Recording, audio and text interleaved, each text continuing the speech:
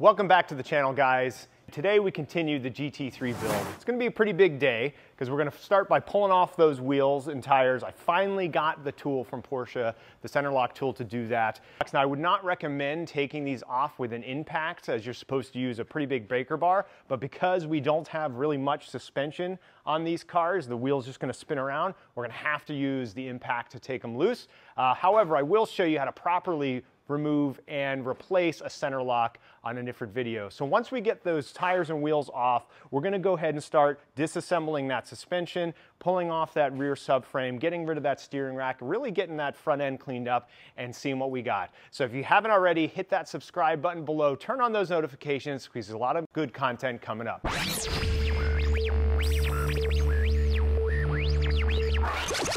All right, I forgot to record a good opening for this, so you've got me on voiceover here. What we're doing here is we're gonna pull off all four wheels, and I know I said don't use an impact, but here we're gonna have to use an impact. Great Scott! Calm down, because we're all right in this instance. The wheels are no good. We're gonna throw them out, other than one, which you'll see in a second. So I just go ahead and pull them off real quick. We also don't really have any suspension to react against. So getting these off the breaker bar is gonna be really, really difficult. And the brakes have lost their fluid, so I can't even use the brake pedal.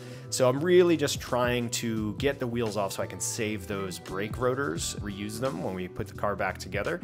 So in this case, you're gonna see me pull off that wheel, keep the hub, and just gently rest that brake caliper on the ground that suspension's so torn apart that most of it, uh, including the hub, is being held up by the brake line, which I'm trying to avoid, which is why I've got that green elastic cord in there.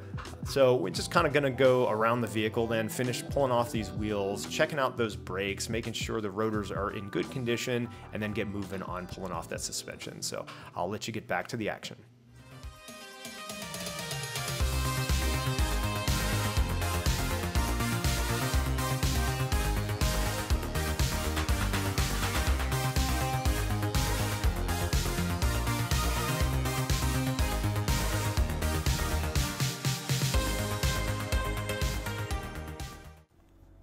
So I pulled off the second wheel and the suspension is completely gone. So the brake is actually being held into the hub, but that whole thing is really being held on by the tie rod for the steering rack and then a brake line. So I actually dropped the car down a little bit so that this is resting on the ground gently. So you can see it's actually on the caliper now, not the rotor.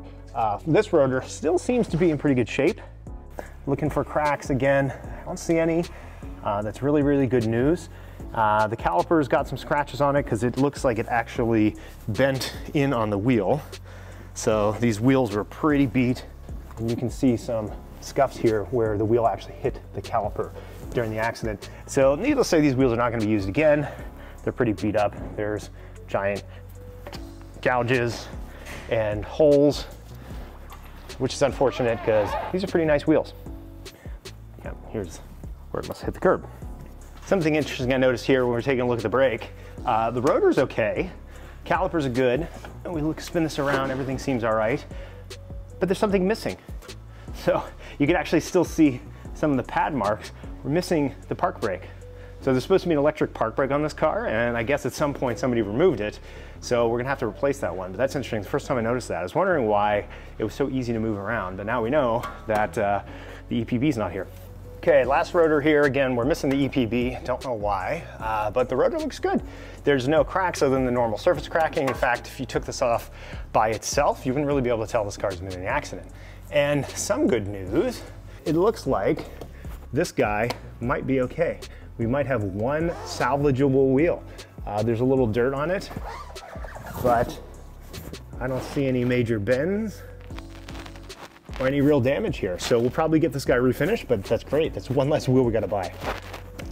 All right, now that we got the wheels off, we can take a look at the front suspension here, which is pretty wrecked, and we're gonna go ahead and remove that next. So first thing is we're gonna take off the tie rod, so this is for the steering, and we're gonna pop this guy off, and there's a ball joint under here, but we're not really gonna be too worried about it. Usually you have to be pretty careful because there's a boot under here that you don't wanna tear, So you want to be real careful when removing these.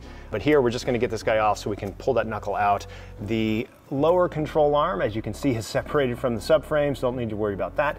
Uh, but we do still have the brake line connected. So this is currently connected to the caliper, which we want to keep. So there's a little clip under here. We're going to pull this guy out, drop the brake line down, disconnect that and plug it so we don't drain all the fluid out. And last but not least, we've got the front lower control arm here, which just so happened to have stayed intact and bolted onto the hub. Let's see if we can show that guy. So behind this cover, there's a bolt and we're gonna go ahead and undo that and that should do it. So we'll get that wrapped up. We're gonna pull this off right now. I'll show you how to do that and then we'll move to the other side and then we're gonna get this subframe removed.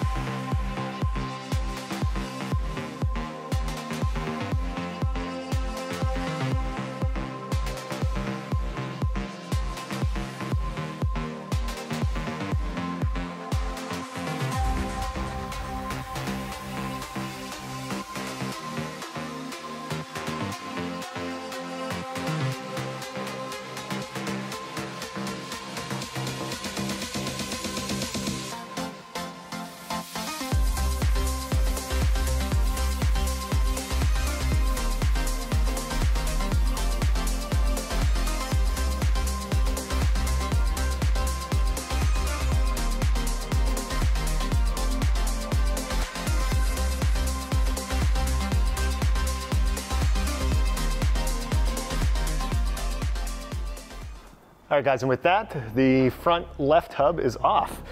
So it was a bit of a pain, but as you can see, some of the arms are actually just pulled clean out of the body. So we didn't really have to undo them. Undid the upper control arms, took off the brake lines, took off the brake sensors, the wheel speed sensors, undid the top strut, pulled it off. So now let's get this thing up in the air. Let's see what we have to do to get this front subframe off, though from the looks of it, it's mostly done.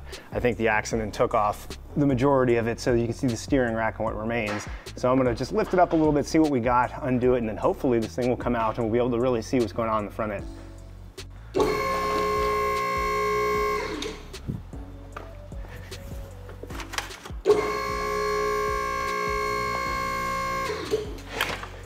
There's a large ass connector.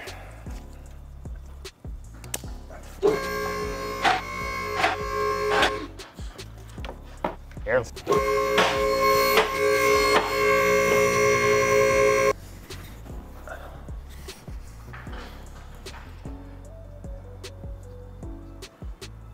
All right guys, finished pulling off the front. We removed what was left of the steering rack and the front subframe.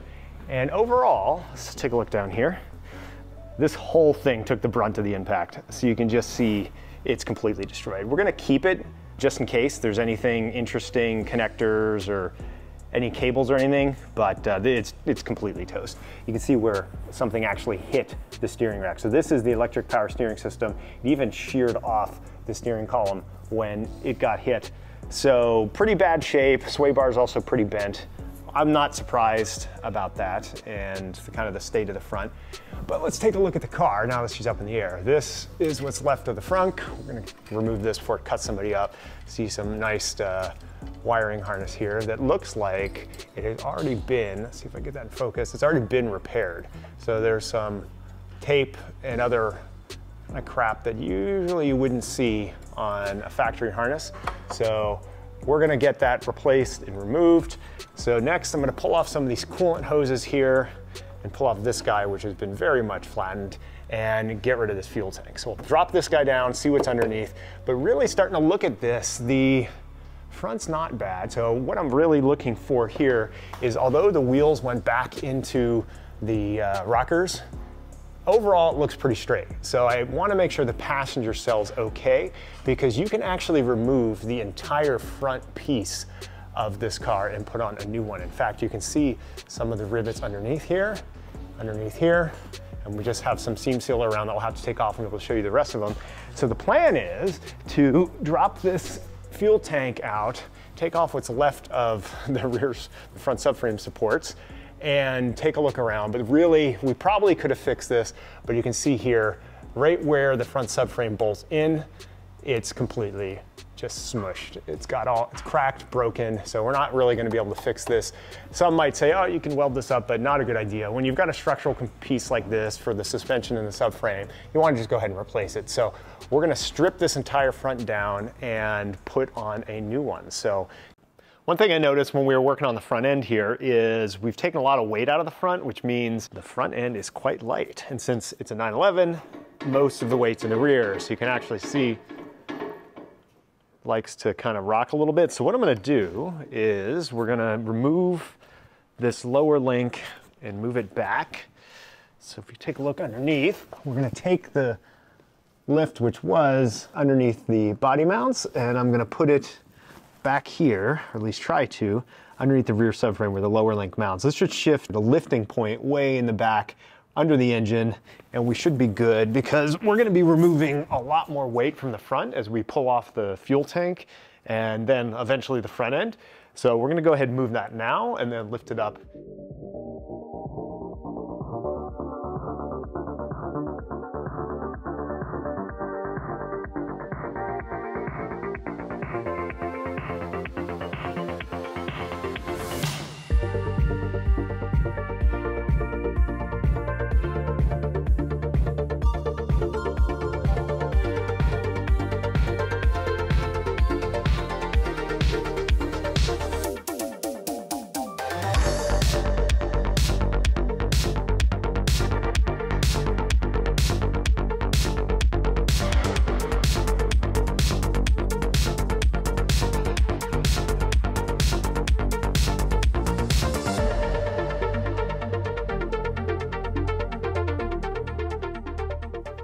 All right, guys, after a lot of screwing around, we finally got the GT3 settled back on the lift. So we ended up not being able to use the rear subframe because the lift arms weren't quite long enough. Instead, we actually used the locating pins in the uh, body in white, sorry, not pins, features in the body in white, so you can see them here. So this is actually where, when they build the Porsches, there's a hole here they slot a pin into, and that's how they move the body in white around and locate it for uh, welding and bonding and everything else. So this is where we're now lifting. We wanted to get back here, but we just couldn't get the lift arms to work out. Uh, and you can see though, we're about two feet further back now on the body. So we are pretty much right where the engine is and that's providing a lot more stability. So we'll be able to go ahead and finish getting this thing taken apart. So that's gonna be a wrap for today. We finished the front end, we removed that suspension, we got rid of that steering gear, lower subframe, cleaned everything up, took a look, found some damage there where the subframe bolted, just reinforcing the fact that we're gonna have to put a new front end on this thing. So up next, I'm gonna start taking off all of the parts on top, stripping it down and getting it ready so that we can actually remove the structure from the front of the car. So if you haven't already, click that subscribe button, turn on those notifications, and follow the action. We'll catch you next time.